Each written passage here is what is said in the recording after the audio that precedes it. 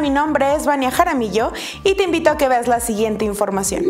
Un joven manifestante irrumpió en una rueda de prensa este domingo de la senadora Antares Vázquez a la Torre y la dirigente estatal de Morena, Alma Alcaraz Hernández. Las acusó de censurarlo. Con una cinta en la boca, Otoniel llegó con un letrero en manos diciendo que había censura en la cuarta transformación. Una vez que le respondieron, la senadora señaló que el joven obtuvo la foto y que pudo con toda libertad estar haciendo su manifestación. En redes sociales hay fotografías del joven con la militancia panista. El gobernador del estado, Diego Sino Rodríguez Vallejo, anunció la incorporación de seis autos de lujo que fueron incautados al crimen organizado. Estos serán para uso de las fuerzas públicas de seguridad. Serán seis vehículos marca Chevrolet, Camaro, un Mustang, dos Cadillacs y un Corvette. Estos estarán operando en próximos meses y podrían sumarse más. Sergio Contreras Guerrero, dirigente del Partido Verde en Guanajuato, calificó como distractor las nuevas patrullas que tendrá el Estado en lugar de atacar la problemática.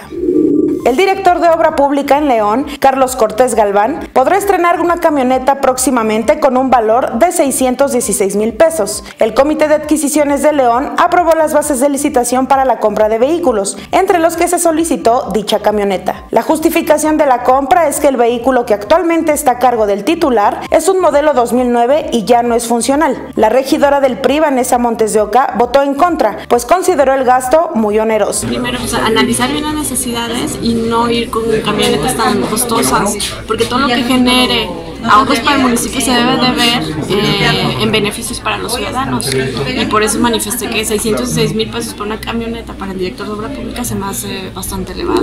Checa la información completa en nuestro portal y estate pendiente de todas nuestras redes sociales. Mañana Carmen Martínez te trae más información.